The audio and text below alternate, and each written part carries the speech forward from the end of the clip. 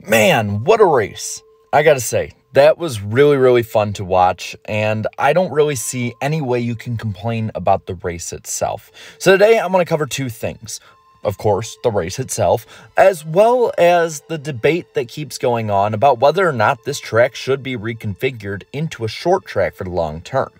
We're gonna get into both, so starting off with the race.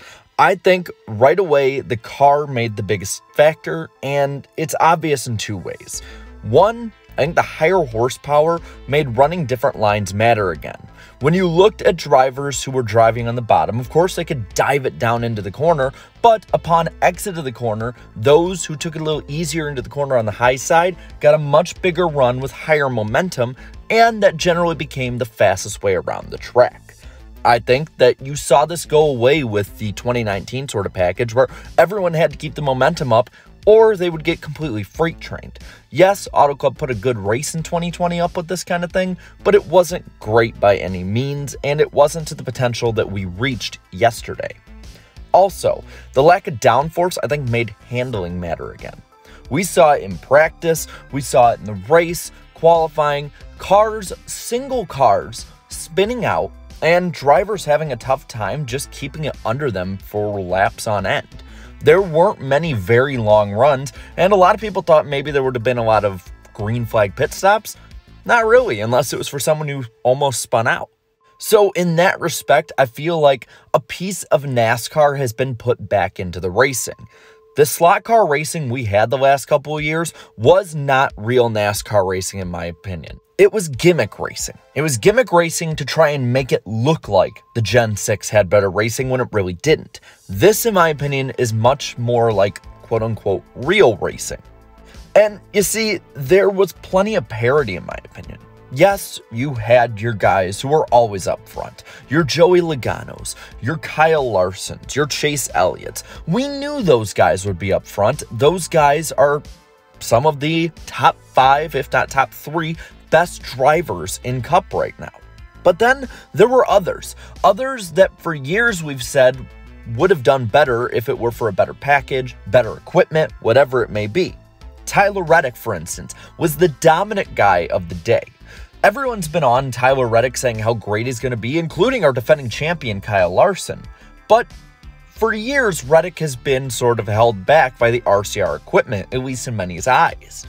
But now, with the cars being a lot closer together and a car that fits his driving style better, Reddick showed out yesterday. And had it not been for a flat tire and ill timed wreck with William Byron, he probably would have won that race handily. But there was one guy that was with him for most of the day, and that was Erik Jones.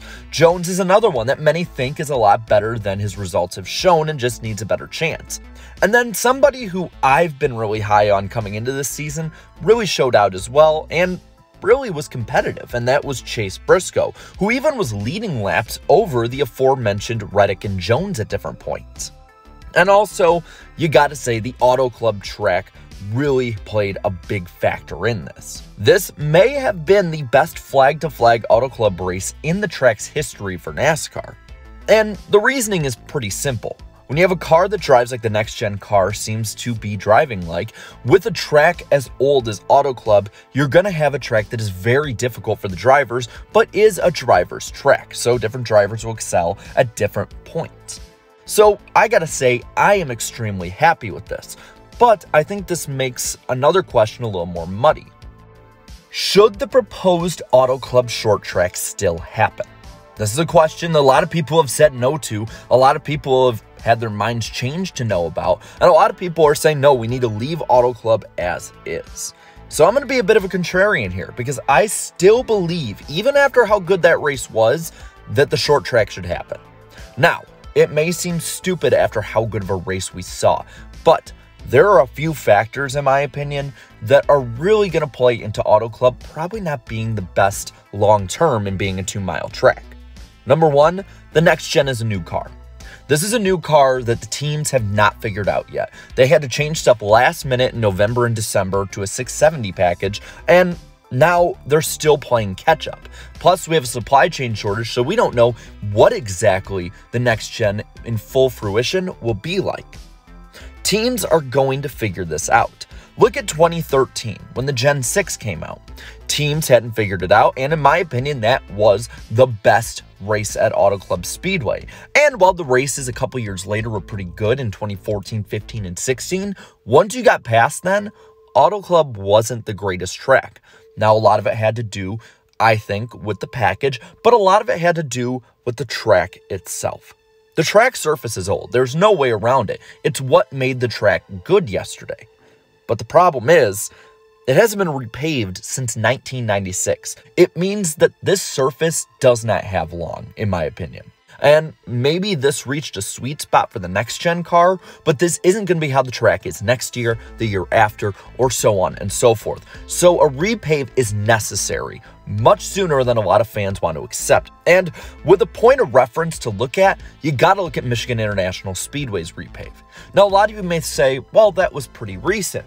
Well, time has crept on and Michigan's repave has been further and further in the past. This year will be the 11th year that this surface has been used in NASCAR Cup Series racing for Michigan. And I don't think I'm going out on a limb by saying the racing has been mediocre at best since this repave. Sure, 2014 was about the best we got, but since then, with the lower horsepower that we have now compared to then, it has not been good overall. There's been good moments, but has not been good overall. And I'd say that Auto Club is probably going to be more similar to Michigan's repave than that of, say, Kansas, which has aged pretty well. Plus, California, especially in Fontana, is not going to be as abrasive when it comes to weather and weathering of the track than it would in a Michigan or a Kansas, where you have harsh Midwestern winters. And you have to remember that it took well over a decade for Auto Club Speedway to get well accepted and good racing at the track. Remember, before 2011 or so, Auto Club was generally known as a pretty subpar racetrack who could have a good race every now and then. We would be going right back to that for probably the entire duration of the next gen era if they move on to another car in 10 to 15 years. Think about that. This might be the best we get because of the needed repave. NASCAR has shown a lot of interest in putting the finale out west. We currently have the finale in Phoenix, but NASCAR overall has really been pushing to get more of the West Coast audience. I mean, we saw it a few weeks ago with the LA Clash. We've seen it with the increased interest in what to do with Auto Club Speedway, the Phoenix finale I talked about earlier. We've seen a ton of West Coast interest in big ways from NASCAR. And I think that a short track would actually be the best way to do this to get the finale to somewhere better than Phoenix, but still out west like NASCAR's plans. And also, a short track will have consistently better racing than a two mile speedway that's been freshly repaved. And it will have better racing throughout its entire life cycle at that as well. Now, you also could artificially increase the demand for tickets out there. See, a short track doesn't need to have 70 to 90,000 seats at it. Look at that race that you saw yesterday. It's about 70% full in a 68,000 seat grandstand, and that's not even adding in the probably 20 to 30,000 people that were in the infield. So, a short track like this will probably have 40 to 50,000 seats and will look much better on TV packed, which is important for NASCAR, for the networks, for sponsors, and in general, the sport itself. So I know it's not a popular opinion right now, but I think in the long term, if this does go through, because it still is up in the air, I think it will be the better choice to go with a short track. It's not the popular one, but I think it is the better one long term. Now, with that, I want to hear your thoughts on both of these topics. Number one, what'd you think of the race? And number two, do you think, after hearing what I've said, that Auto Club should be reconfigured into a half mile short track? Let me know down in the comments below. While you're at it, leave a like on this video share this video, and subscribe to my channel for more great NASCAR content throughout the season. And also to all my great channel members, thank you so much for your support. It means the world. So until next time, have a good one.